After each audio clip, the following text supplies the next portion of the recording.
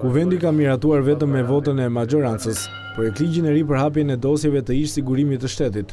Duke paraqitur ligjin ishte ministri i Mirëqenies Erion Veliaj, që në fjalimin e tij të fundit para deputetëve tha se ky është një ligj mjaft i rëndësishëm, që do të hedhë dritë mbi të kaluarën e regjimit komunist. Megjithatë ministri nënvizoi se ligji i jep të drejtën e informimit, fillimisht viktimave apo familjarëve të tyre, dhe më pas studiuesve dhe gazetarëve.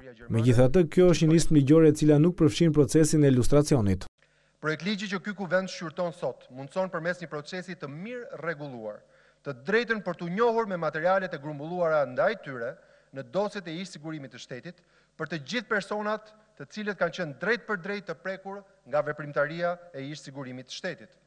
Këtu përfshihen jo vetëm personat e përndjekur nga ish-sigurimi, por edhe vetë bashkëpunëtorët e këtij shërbimi, të cilët në përputhje me dispozitat e këtij projektligji, do të kenë të drejtën e aksesit të plotë në të gjithë informacionin e grumbulluar kundër tyre apo prej tyre gjatë viteve të veprimtarisë së sigurimit.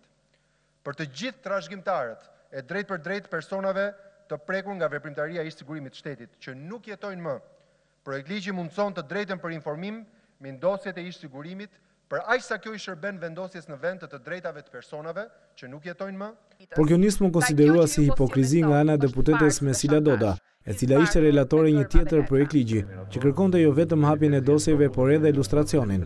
Zonja Doda kritikoi ashpër maxhorancën, se me këtë ligj po mbron arkitektët e regjimit komunist, që kryen krime të rënda gjatë diktaturës. A do ketë xhelatë që do dalin një herë e mirë nga vendimmarrja politike e këtij shteti, kjo nuk do të ndodhë, sepse krimi i djeshëm për ju është bashkëjetuesi i ditës. Ndaj kjo që ju po sillni sot është farsë dhe shantazh, i zbardhur me gërma dhe letra. Zoti kryeministër, je aktor i një teatri që po luhet dhe një herë në kurriz të viktimave të së kaluarës.